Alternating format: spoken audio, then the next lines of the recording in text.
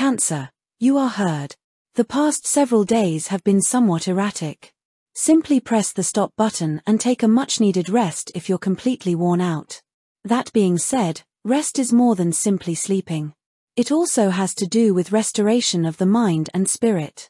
Make time, then, for the things that lift your soul, like cooking, hiking in the woods, or writing in a diary. Too tired to perform the inner work? Alternatively, make an appointment at your preferred spa or schedule a massage. Lucky number is 17. White is a lucky color.